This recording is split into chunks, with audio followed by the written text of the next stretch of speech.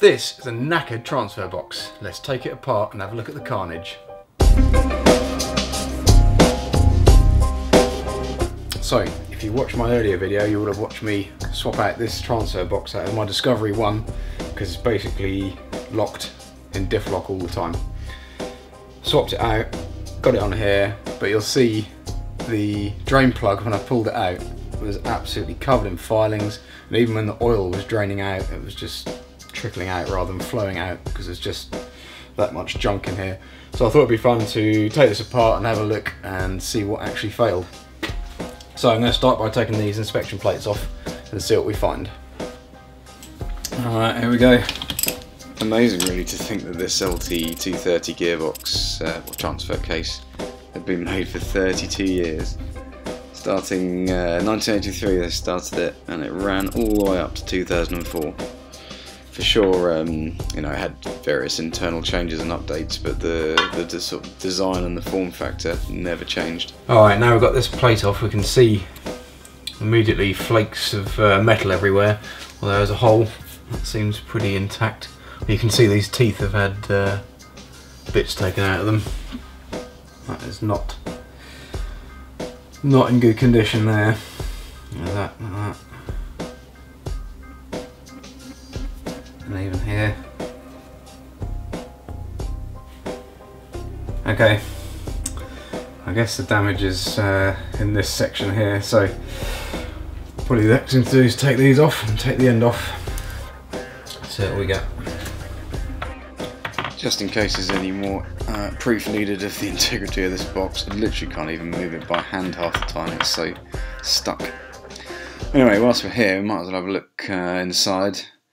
You can see here is where the back of the gearbox joins the transfer case. Drive is then sent through these two cogs and ultimately that goes to high and low gear ratios across here and this shaft has a selector ring which can be uh, pushed up and down to select the ratio that you want. Anyway, back to stripping more bits off. This is the back of the case, so this is where the drive shaft would come out to the back differential.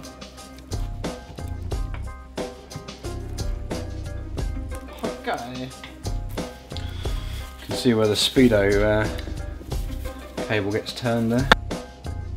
Alright, basically if you like doing a proper job then uh, look away now because I had to grind all these nuts off because I keep stripping all the 10mm ones.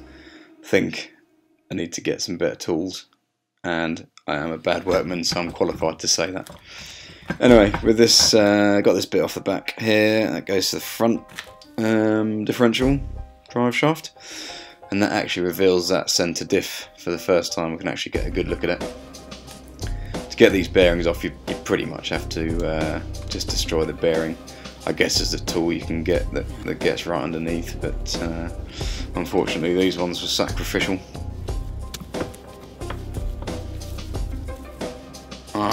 Alright, time's going to uh, montage mode as we take uh, some more of this apart.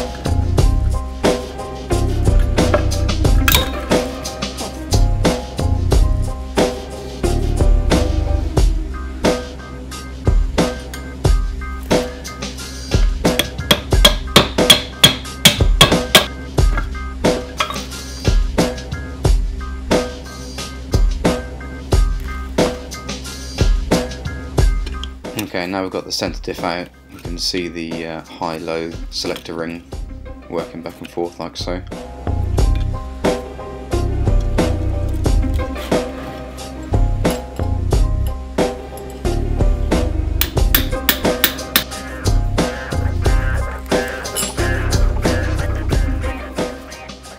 As we crack open the centre diff, this is clearly where all the problems have begun for this transfer case. Can see that little bit of tooth that I've pulled out is actually one of the pins that goes across. Uh, there's two pins that go across each other, and one of them's just completely failed, and then rattled around all side of there, and uh, smashed the uh, the teeth off the cogs and all sorts. It was in a right mess.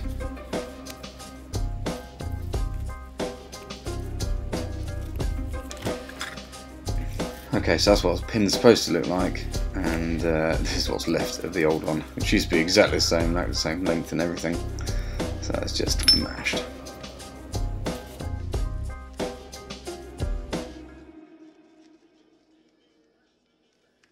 Alright, so uh, now we've worked out what's happened to this uh, transfer case, I think the obvious thing to do is clean up all the pieces and then make a montage of laying them out.